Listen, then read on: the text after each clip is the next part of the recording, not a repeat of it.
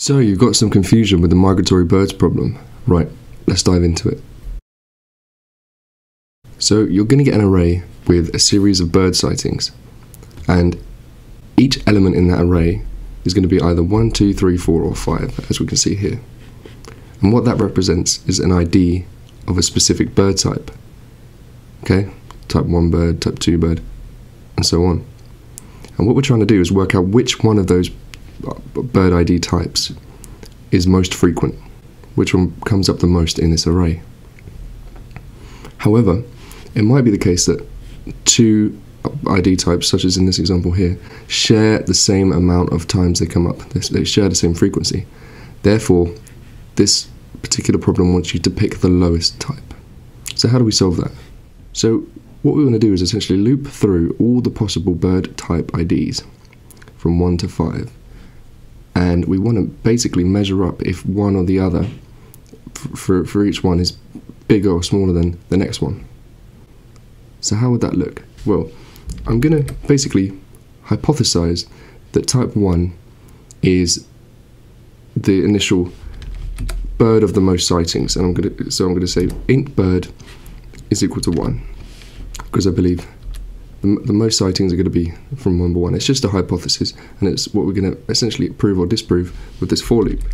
So now, because we've already looked at type 1, we want to start with type 2 in our loop, because that's the next one we want to compare against, right? We want to compare if type 1 is bigger than or smaller than or equal to type 2.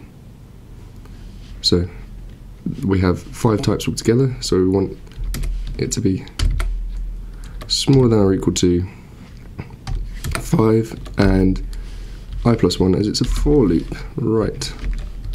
Okay, so now we're in our for loop. What do we actually want to do? Well, there's this beautiful, beautiful piece of code in Java called collections dot frequency. And all you have to do is put in your array against the particular value that you're aiming to find. And in this case, it's going to be i, right?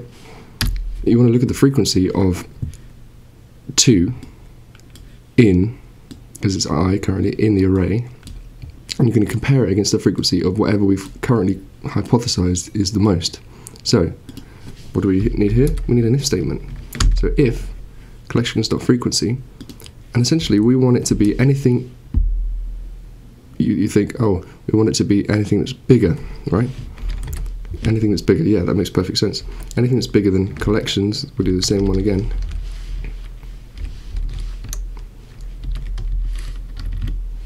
But this time we're going to compare it against bird, because bird's our initial idea of what might be the biggest.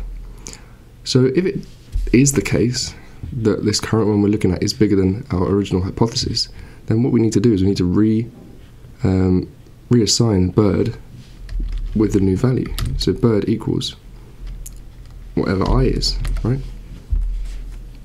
Okay, so now if bird equals i, in this case, if i is 2 and bird is 1, if the frequency of type 2 is higher than the frequency of type 1, then obviously we reassign bird to type 2. Now you might think, well, okay, what about the instance when they're the same? Well, that's why we've done bigger than.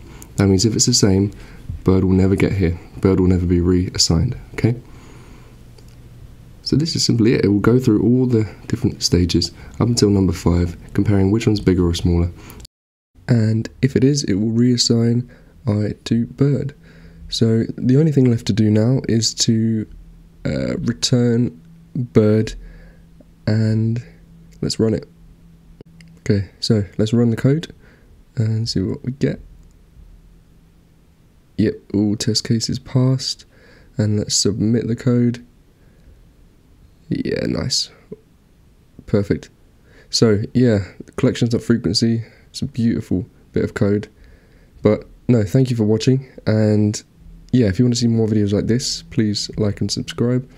Uh, I've got a whole new collection on Computer Science 101 coming up. So yeah, stick around and I hope you enjoyed. Thanks for watching.